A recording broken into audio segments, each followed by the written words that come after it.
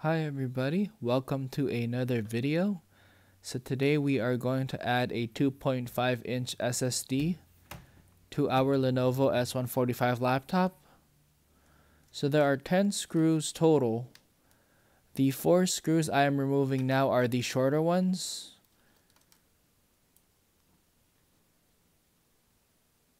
Number 2, so let's go for number 3. So these are shorter ones than the other 6 we're going to remove. What's really great about this laptop is that when we remove the bottom cover, it's not connected to anything. It's going to be a clean it's to be a clean um a clean removal because other laptops when you try to remove the bottom cover, it's connected to a Wi-Fi card or some other component of the computer. So here we go.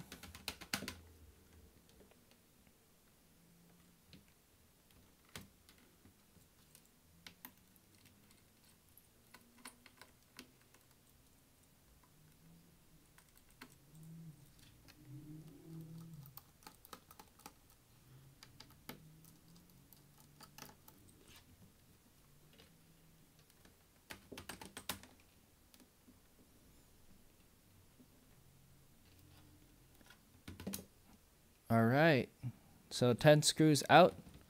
Now I am going to use this plastic. I keep I keep thinking like it's a guitar pick, um, but yeah, it's just to, it's a it's a plastic uh to open up the laptop. To be honest, I don't even know what it's called, but it came with the tools. So just kind of slide it in there the Lenovo laptop has a lot of plastic pretty much, so I try to be careful not to scratch it. But uh, you'll find it, I think everybody's going to pretty much find it pretty easy to open up this laptop. It's a great laptop, good design. Um, they really made it easy for people to upgrade.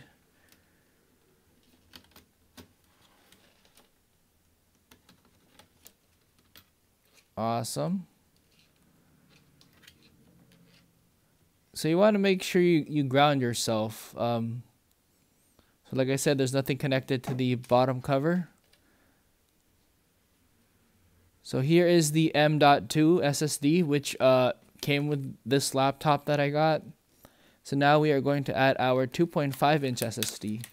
So there are different models of this laptop, uh, but for this model, I have the M.2. It's a Samsung. It's uh, it's really good. Um, I didn't even notice that the it had room for another SSD, so that's why I'm making this video. So there are four screws for the SSD bracket. The screw that I'm removing right now, it's underneath the battery holder. You guys will see it. Boom. Go. So let me take out this SSD here.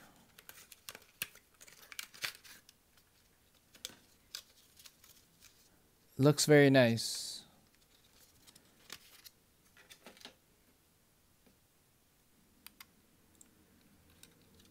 So I I'm using four pieces of M3 by 3 screws.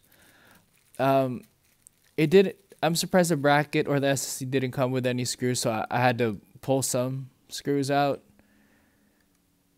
from my toolbox to hold it in place. Um, I mean, you could probably get away with just using three screws because you know it is a laptop, and when you do carry around the laptop, you don't want the S SSD to be moving around. So I do recommend screwing in the SSD to the bracket, and then so I'm gonna lift the battery little bit and slide in the bracket.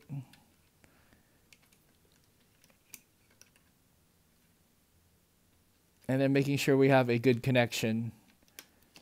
Boom. So nothing too fancy. And then I just put the four screws back to hold the SSD bracket and the SSD in place.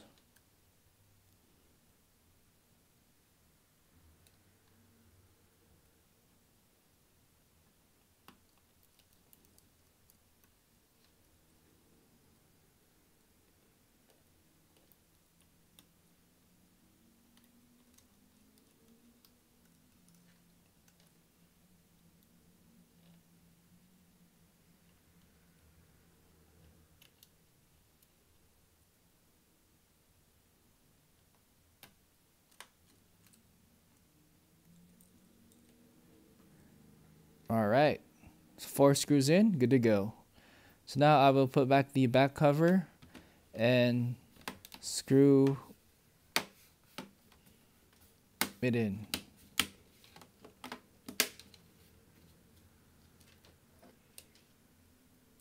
So I'm going to start off with the long screws, the six long screws.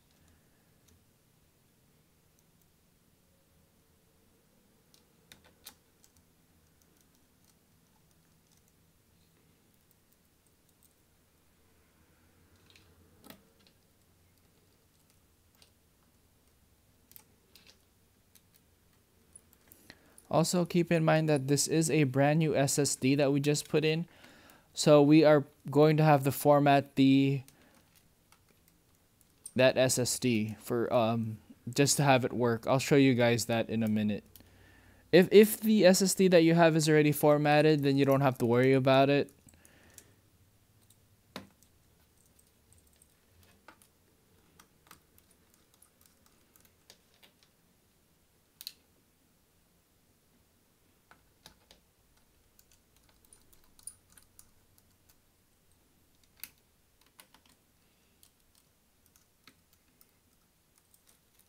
All right. So the SSD and the back cover are now secured. Let's turn on the laptop.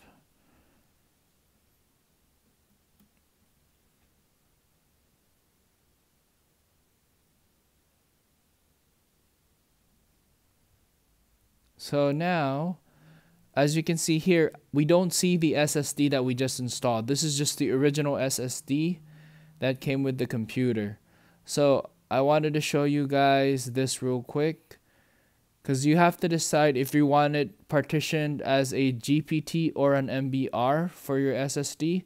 It really depends on what you want. For me, I'm going to be using GPT. So what I'm going to do is create and format hard disk partitions.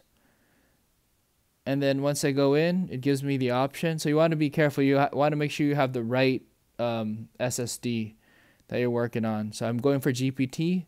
There you go. And then I'm going to right click this. And then I'm going to do new simple volume. And then I'm going for the NTFS. And then you can also rename your SSD if you'd like. So this is just going to be used for extra storage. To be honest, I don't really need that much uh, space. So this this 120 gigabyte Lexar SSD is going to be used for extra storage and that's pretty much it. And voila.